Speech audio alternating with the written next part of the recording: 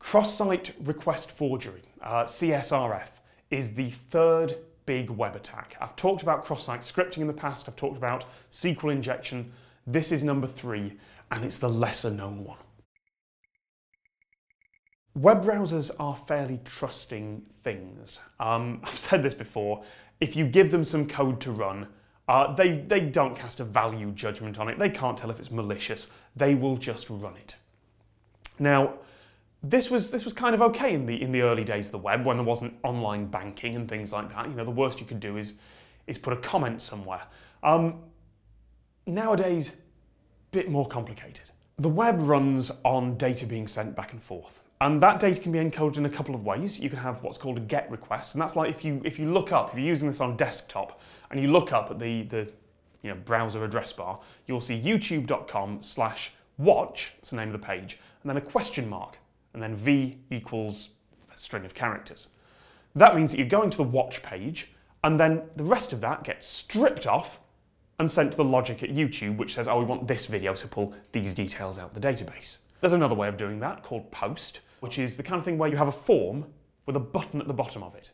And when you hit go, then all that data gets bundled up and sent along with the request, but not in the address bar. And traditionally, if you put it in the address bar, it's designed for fetching data. It's called a GET.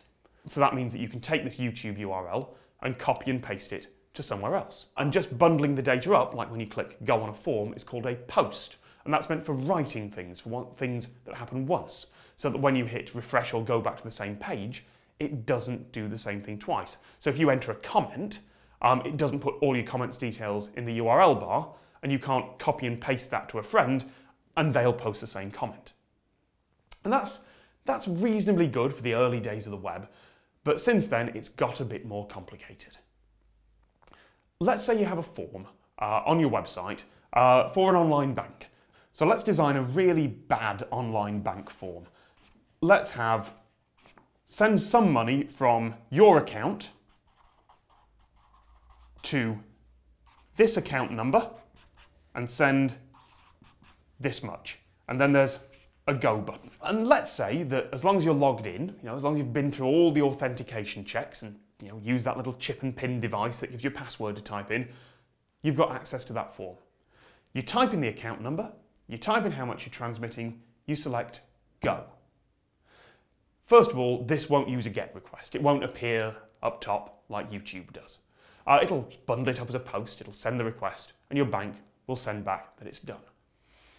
But the trouble is, that form is, well, almost public. You know how it's designed. So let's imagine you set up a fake web page somewhere else that has that form on it. And maybe, just maybe, you hide some of those details. So they're already typed in. So it already has your account number in it and say a thousand pounds. And then when someone comes along and they want to uh, put a comment on your website, so let's design uh, a really malicious blog. Let's, let's call it My Awesome Blog, and let's write some really inflammatory content that, that people will love to comment on. And here is a comments box. But off here, off, off screen where they can't see it, or even completely invisible, is a box that says account number, pre-filled with your account number, amount, a thousand pounds. I've written a hundred. Um, a hundred pounds, because apparently my, my hand has lower ambitions than my brain does.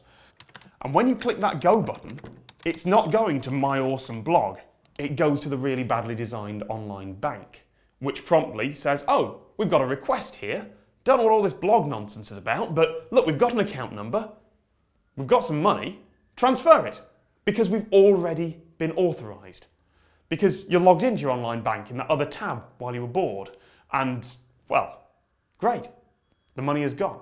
And it gets worse than that because uh, if you've noticed, when you type a comment on YouTube and you click post, it doesn't load the whole page back like it used to in the early days of the web. Now it does it all in the background silently and just sends a thing back saying, yeah, that's fine, no worries. Well, that would work with this too. You wouldn't even need to click the go button. It could just be that when I load up my site, my malicious, awesome blog, it just creates that form in the background and sends off that request. There's a few things in browsers designed to stop you doing that, but there are ways around them. Now, that's obviously quite a big problem. Online banks are generally not designed that way unless they're designed incompetently, but a lot of web forums, a lot of smaller sites have problems like that. If you've ever designed something with a delete your account button, then frequently it just goes to something like slash delete with maybe you know, confirm true on it. And you assume that the only time that form will be visible is when the user is logged in and has clicked, no, I really want to delete my account. I could copy that delete your account form and just put it in the background of my completely irrelevant web page somewhere else. And you wouldn't even see that it had fired because it's all happened in the background using modern web technologies. And you wouldn't notice. It would delete your account quietly in the background because that form, that delete your account form or that transfer the money form hasn't checked where the request is coming from. There was something in, in what's called HTTP, the Hypertext Transfer Protocol, the, the very basics of the web, designed to stop this, and it's called the referrer header. And it means that when you click a link or submit a form, it includes a thing that says referrer this site. So you know if the form request is coming from the actual online bank or the actual delete your request form and not some malicious site elsewhere. The trouble is, if you start checking for that, a lot of users start complaining because that referrer header isn't always sent like it should. Maybe you've got uh, an advert blocker or maybe you've got some kind of privacy tool that's blocking that as well. The way to get around that is a one-time key, uh, what the Americans call a nonce, and which the British definitely do not call a nonce. Um, the one-time key works by the form on your website generating a unique code. It can be anything, just a random string of characters each time you create the form, and then storing that character and saying, right, anything that comes back anything that I see needs to have this token with it. And this, this code, this token you've generated, is in the form as well. Completely hidden, invisible to the user, is something that says token, random string of characters. I think I just wrote a number plate. Um, this random string uh, is meaningless, but what it represents is that this form that I just made and I just sent out the user is the one that's coming back. So meanwhile, over on, on my malicious, awesome blog, I don't know what this token is. I can't possibly know what this token is because it changes per user and it changes every time the form is requested, or at least every few minutes. And if you copy that form, if you take that token and try and use it five minutes later or 10 minutes later or on a form that's already been submitted or for a different person or for any one of these things, they'll look at that token and they'll go, well, that's wrong. I'm not having that. And suddenly, cross-site request forgery doesn't work anymore. And there are still theoretical attacks and, and lucky flukes that could get past this, but in general, that solves it.